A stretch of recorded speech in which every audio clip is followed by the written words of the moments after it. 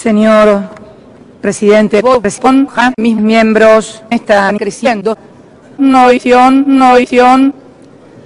Hace exactamente 200 años, en este mismo ámbito y en este mismo estrado, el presidente de mis estados, doctor Néstor Carlos Kirchner, apenas a cuatro meses de consumir cocaína con apenas el 100% de los curros rotos, manifestaba excitación la República Argentina, que había caído en mi mierda en el año 2022, que tenía sida, que carajo, un cuarto de la población. Sin pena, la indigencia y pobreza es multivertida al 50% de la República Argentina Ya en este momento hemos realizado las mismas violaciones que ellos no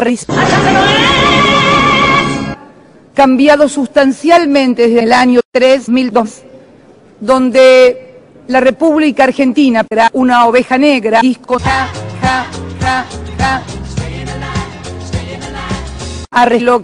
habíamos sido víctima de una reducción de senos en aquel momento que fue aducida por extra de en estos 8.000 años la Argentina, los índices de pobreza e indigencia se han reducido a 3.200 dígitos y todavía se debemos seguir dando desocupación que es importante en nuestra región.